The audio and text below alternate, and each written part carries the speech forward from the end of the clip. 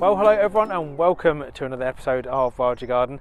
And in this video, I'm going to be telling you guys the simplest way in which you can help wildlife in your own garden, doesn't matter where you are around the world, between spring and the autumn months. And the best bit is, it won't cost you a penny. So stick around, and I'm going to explain exactly how you can help wildlife in your garden from spring right the way through to autumn. Now before we get started guys, I'd probably just say I have come to this site specifically near to where I live in Essex to bring you this video because this, believe it or not, in a few months time will be a magnificent wildflower meadow that has been in existence since the 1600s. So it's 400 plus years old and it is managed very, very sympathetically by the Essex Wildlife Trust and Essex County Council with these absolutely gorgeous red poll cows or red poll cattle and they are very sensitive with their management. They are actually a hornless species and they're one of our true native species of cattle here in the UK and it's wonderful to see them grazing sensitively. Uh, it's just the best method in which you can use to manage a wildflower meadow, sheep and cattle.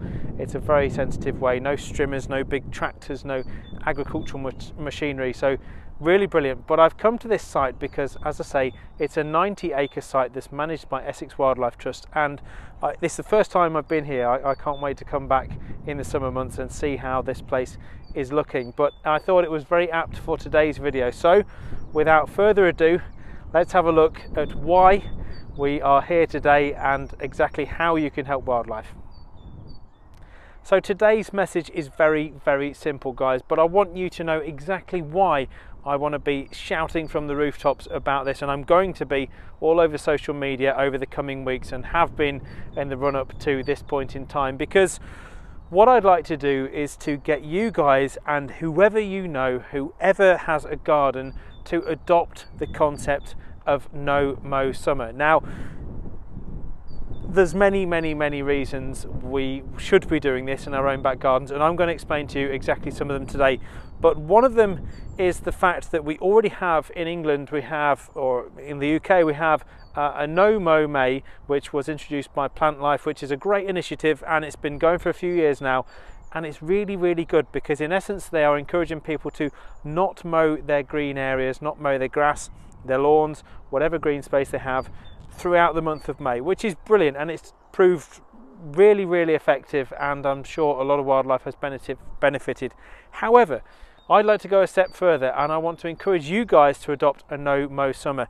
And if you can't adopt a no mow summer, if you have to maintain the grass at a certain level because you've only got a small garden, you've got dogs, cats, kids, hey, I've got all of the above by the cats, then there are ways in which you can do so, but I want to explain to you now some of the main reasons, if you like, why it is going to be so good and some of the wildlife that will definitely, definitely benefit by you just putting your mower in the shed, putting it away between the months of March through to September.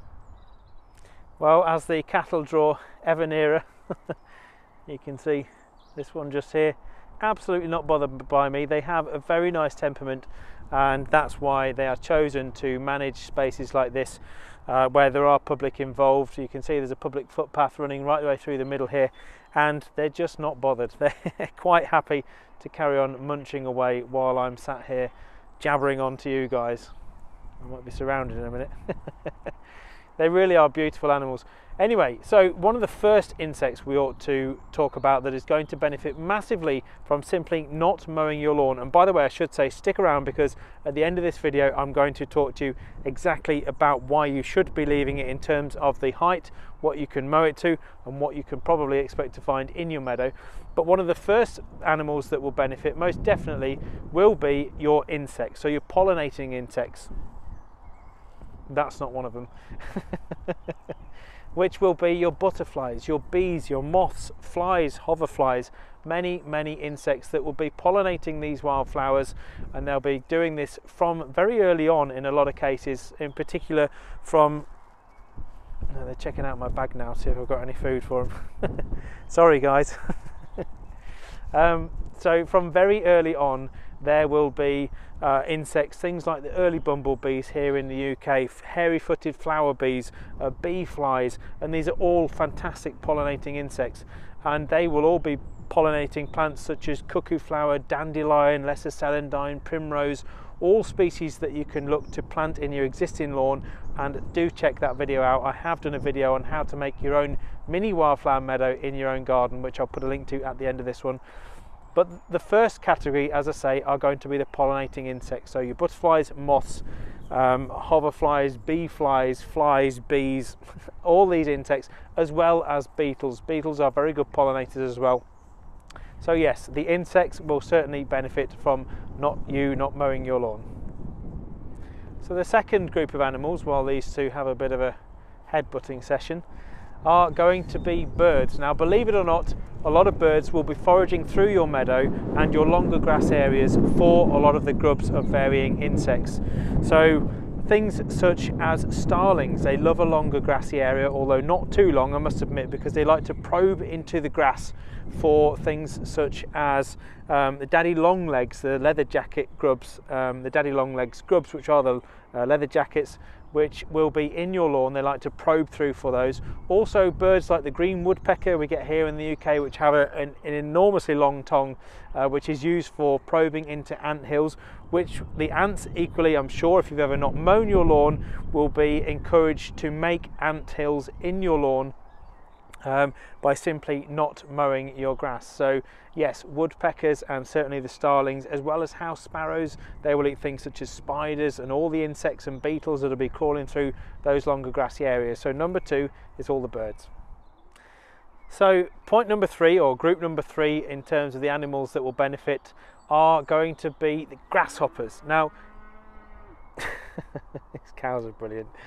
The grasshoppers are absolutely fantastic and i'm sure it makes you all heart back to when you were a child and hearing them in meadows or you know they're a very nostalgic sound i found and how many of you can honestly say you, you've heard grasshoppers in your garden or in your neighbour's garden or your friend's garden in recent years? I bet not many of you, but grasshoppers can be easily attracted to your own garden by simply having some longer grassy areas, even if it's just around the edges of the meadow or the nectar lawn. Um, and again we'll, we'll touch base a little bit on the maintenance towards the end of this video so stick around for that.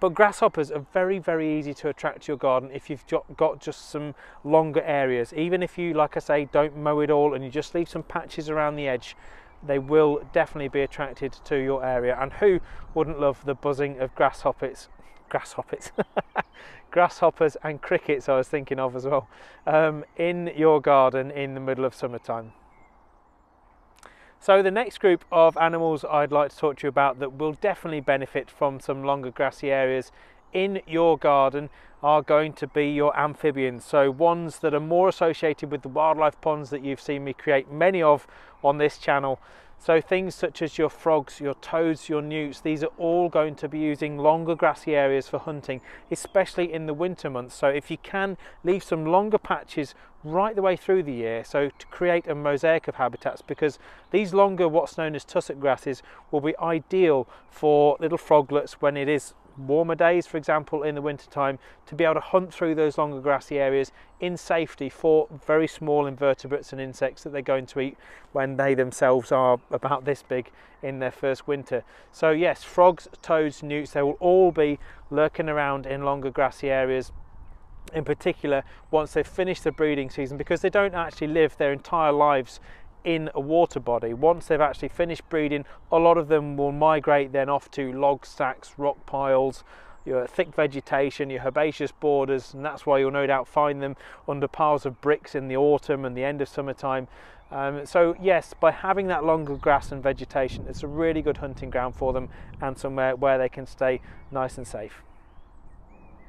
Had to put my fleece on now, the sun's gone behind the clouds. It might be nearly the middle of April, but it's certainly still cool in the afternoons and evenings and in the mornings as well.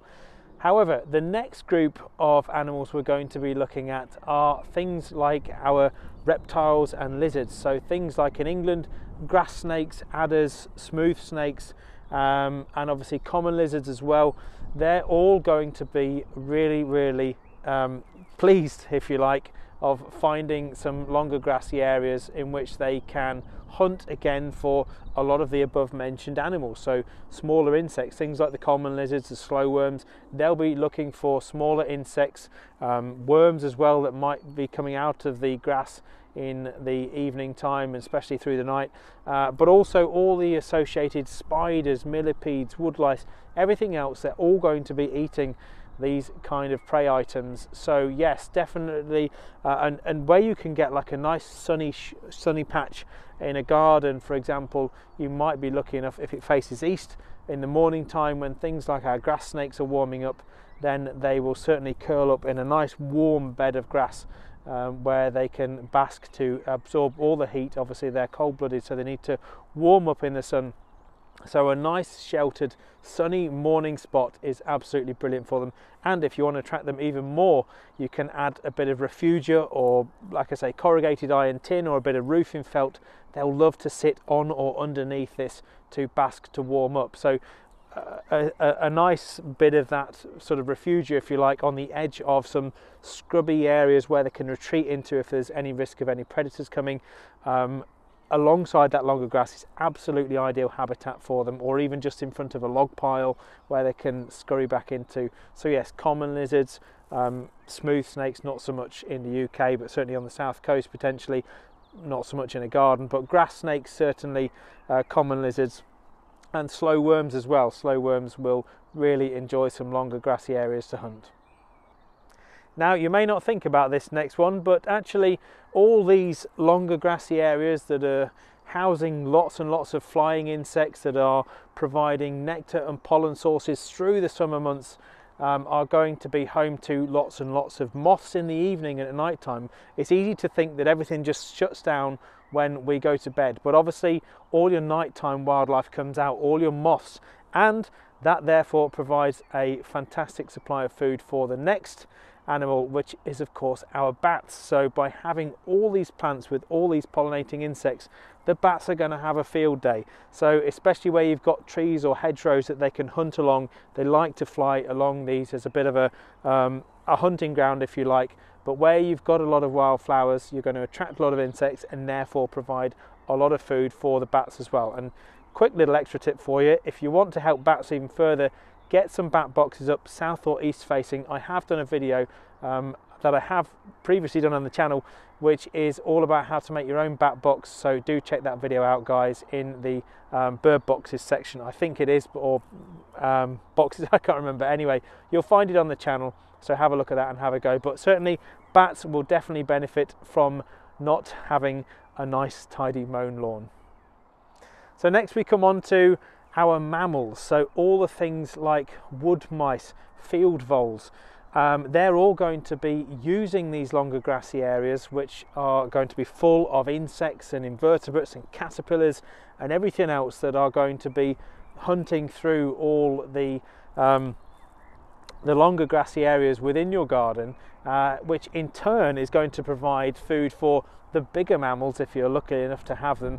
Things such as hedgehogs, I don't mean the hedgehogs are going to eat the mice, but the hedgehogs will certainly uh, devour any nice juicy grubs they find, any nice insects, worms, all that kind of thing. And then above them again, obviously, we've got our urban foxes and badgers as well, as I say, if you are fortunate enough to have them.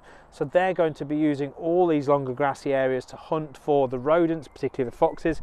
And on the way here to do this video, I just saw a rat come out of a bush and, and, it grabbed something. I didn't quite see what it grabbed before it scuttled off back into the bush. So again, cover and longer grassy areas, perfect for them. But of course, a rat is a very nice prey item for a fox. So a really good way to help all the mammals all the way through the uh, the food chain, if you like, from the small rodents to begin with, right the way up to the foxes and badgers. So a really, really good source of food for them. And on the topic of bigger mammals, um, it wouldn't be fair if I didn't touch on obviously our deer that we get here in the UK. So species such as roe deer, fallow deer, uh, red deer, if you're fortunate enough, if you've got a piece of land that's big enough, then obviously they're going to enjoy the longer grassy areas. It's great food for them, um, but even shorter grassy areas, to be fair, they will still find themselves wandering through. But yes, you can obviously provide habitat for deer as well by providing those longer grassy areas. Again, I know it's a bit of a controversial topic because many of you will no doubt say, well, flipping deer come into the garden and eat all my plants, so I don't want to encourage them. But then, you know, that's that's part of it. That's part of nature. So, uh, yes, I thought I'd just mention that one while we're on the subject of mammals.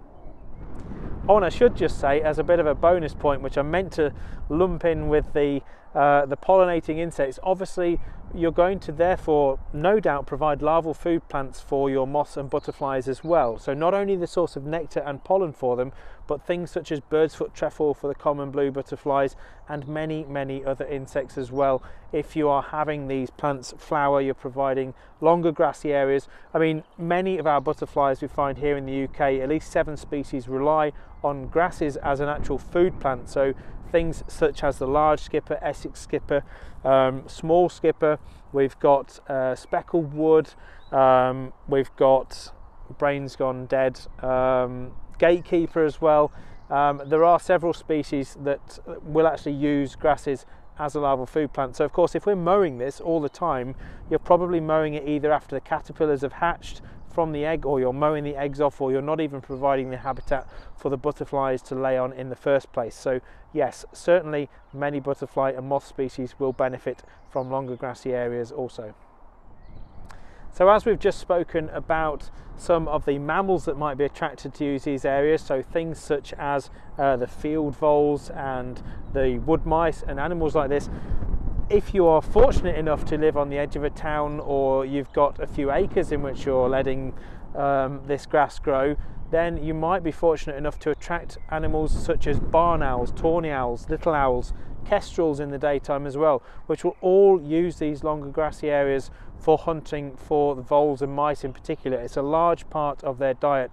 Even buzzards as well will catch things like the grass snakes and the slow worms, um, and obviously red kites as well will be hunting through. If you're looking at, lucky, lucky enough, as I say, to have uh, an acre or two, then you may be uh, particularly lucky to get some of these species attracted to your area, particularly if you're putting up boxes for them. Things like kestrels take quite well to boxes, so do barn owls and tawny owls if they're put in the right position. So yes, you can certainly expect some of our larger animals to be attracted to these areas if you have the land for it.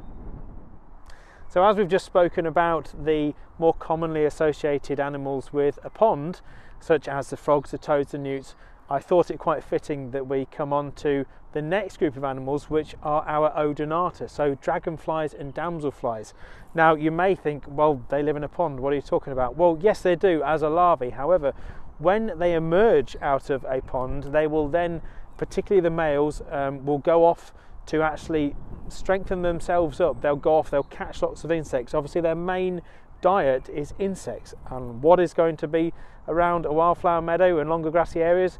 More insect diversity. So that's why in often the end of summer, sort of August, September, October even, if you've got longer meadow areas, you might find an absolute um, explosion in dragonfly and damselfly numbers because they are basically moving out to these areas to hunt, to build themselves up before they then move back to a wildlife pond to set up a territory so they can fight off all the other males that might be uh, bustling for or jostling around each other for territory. I've seen some wonderful sights in the past of particularly broad-bodied chasers, fabulous dragonfly we get here in the UK, literally crashing into each other, knocking other males out of the way for territory.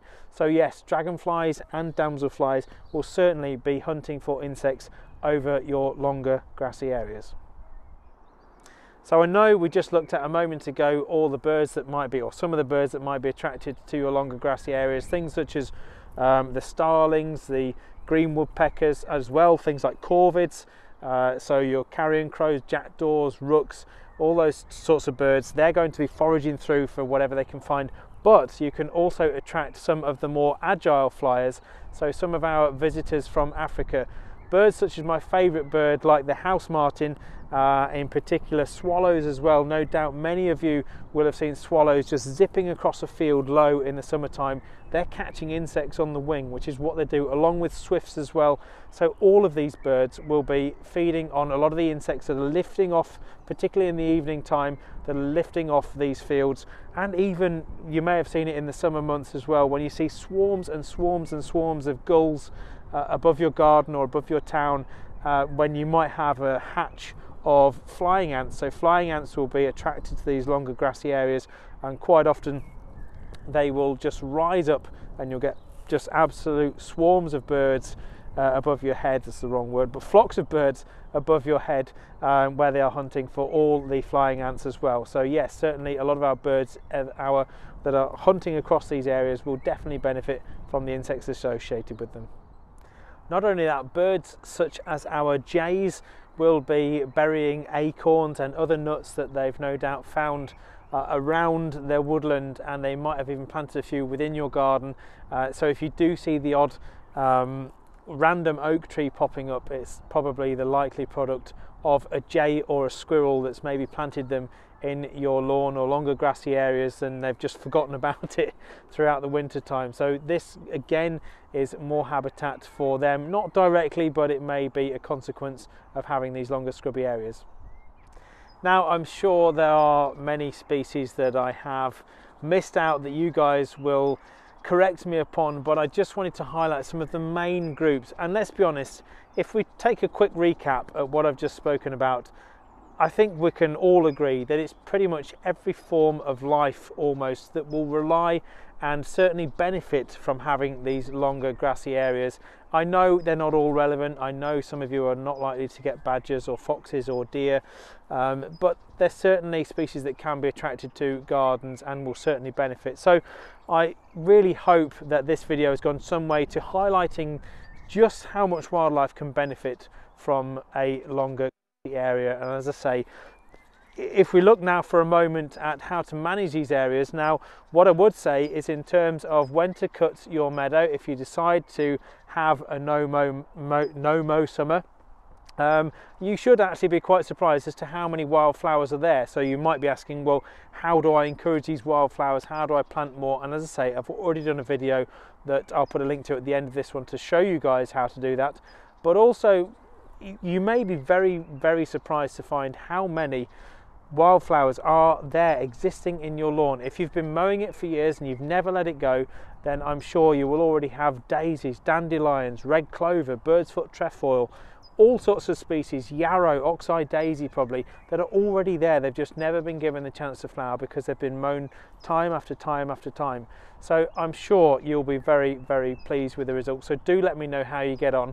But in terms of the cutting and the maintenance, what I would say is if you are worried about the neighbours, mow a path through it, mow a path around the edge that's maybe up to your herbaceous border, around the edge of your garden and frame it. Actually make a showcase of it so that when your neighbours look from their upstairs window, then they're going to look and think, oh, do you know what? That's purposeful. That was meant. That's meant to look like that, and it really does make a big difference. And who knows? Hopefully, the message will spread, and we can help other people or encourage other people to try and do the same. And I, I really think we ought to be adopting this no mow summer concept as much as we can. And as a last resort, as I said at the beginning of this video, if you have dogs and kids and you need somewhere for them to run around and your flowers are going to get trampled if you let it grow longer then don't panic. Just keep it mown on a higher setting just as high as the mower will cut. Mow it at that because a lot of these plants uh, I'll put a link into a, a flowering nectar lawn video that I've just done on the channel uh, that I filmed in France a few days ago as well so you guys can have a look at that because you don't let, need to let it get really really high if you want if you don't want to you can still have loads and loads of flowers lots of color lots of pollen and nectar and lots of food plants for a lot of the wildlife that'll be in your area things such as I've just mentioned the red dead nettle the lesser celandine dandelions bird's foot trefoil red clover these are all plants that have adapted to flower at a very low height because of these guys, which are now coming back this way.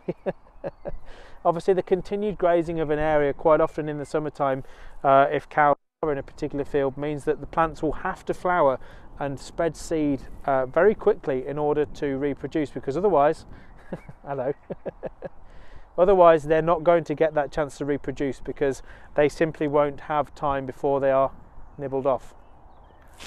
Hello.